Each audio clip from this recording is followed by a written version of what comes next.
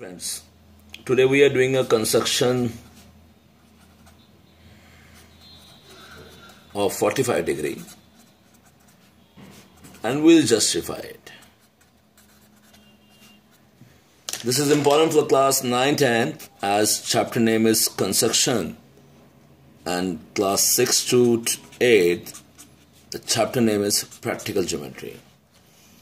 Here you go. I'm just giving you the rough idea you draw an arc, name it OP, you take a suitable radius from O, OA. Then whatever is OA, you just put compass here, cut an arc that is equal to AB and which is equal to OB also. So your angle A O B is 60 degree. Okay?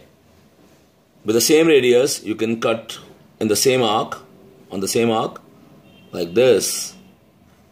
It means your AB is equal to BC.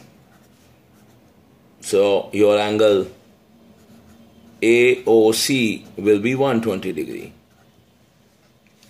When you join OB, then angle AOB is 60. When you join OC, your angle AOC is 120. When you bisect them, your answer will be 90 degree. Here, you put a compass on B, you cut an arc like BC as radius, or you can take more than BC. With the same radius, now you put a compass on C, you get an arc here. When you join them, you mark this point as D. Your angle AOD is 90 degree. Got it? Let you put a point here E. So your angle AOE is also 90 degree.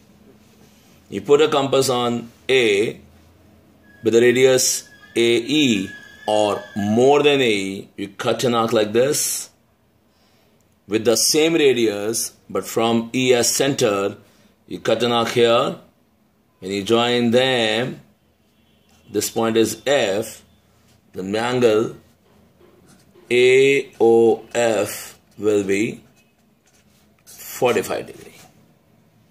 Now friends, now your justification part. Okay. Justification is this as simple. You know that angle AOD is 90 degree. Okay. And by construction, we have just OF is the angle bisector of angle AOD. So, angle AOF is equal to angle DOF which is equal to half of angle AOD which is equal to half of angle 90 degree that means 45 degree.